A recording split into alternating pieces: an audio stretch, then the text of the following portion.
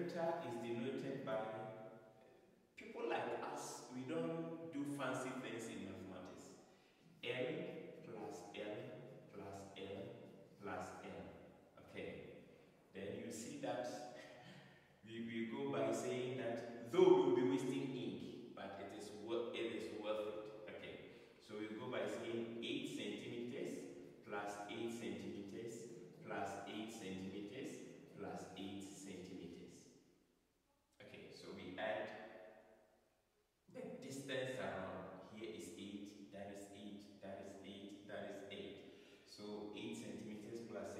So more or less 16 plus 16 gives us 32. So 32 centimeter thin.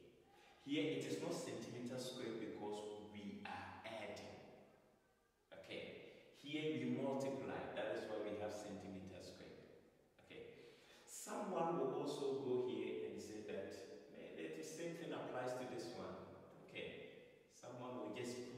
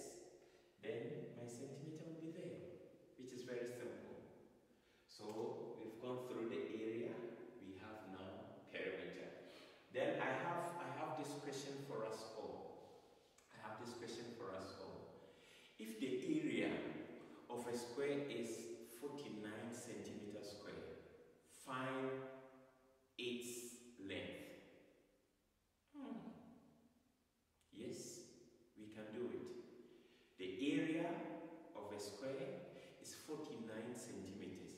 Find its length, or we can say that find its perimeter.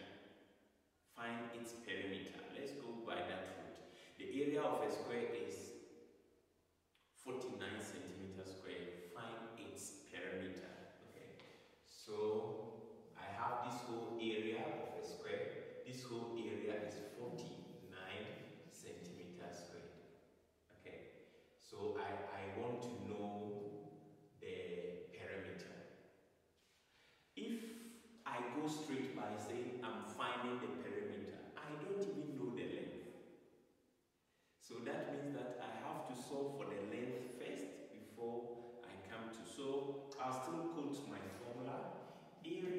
is equal to L squared.